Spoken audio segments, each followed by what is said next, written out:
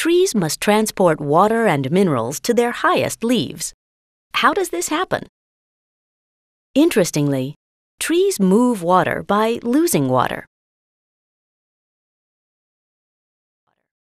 Evaporation of water from plants is called transpiration.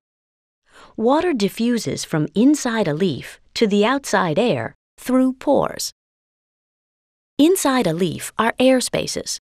Water evaporates constantly from the surfaces of surrounding cells. To better see the water, let's show it in blue. Notice that water forms a film on cell walls, including the walls of cells in leaf veins. Within the veins are hollow, tube-like cells, shown in brown. These cells, also found in stems and roots, are part of a tissue called xylem. Water and minerals are transported from roots to veins through the xylem, and then from veins into the walls of other leaf cells. What maintains this flow? Let's look at the surface of a plant cell.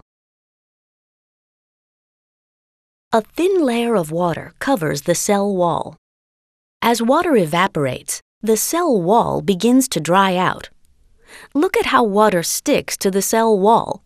This is called adhesion. Water molecules also stick to each other. This is called cohesion. Cohesion and adhesion are the results of hydrogen bonds, the dashed lines. Because of cohesion and adhesion, Transpiration creates a tension from leaf cells through the xylem to the roots that pulls water molecules up the plant.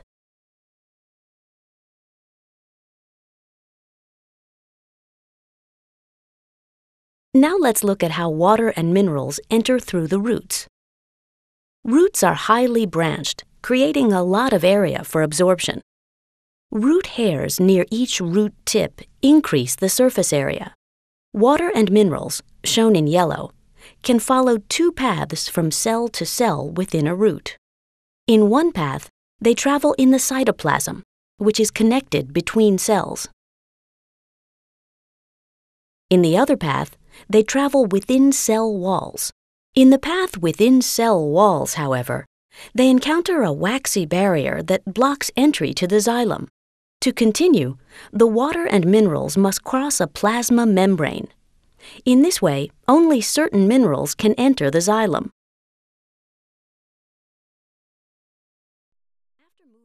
After moving into the xylem, water and minerals are pulled up to the leaves.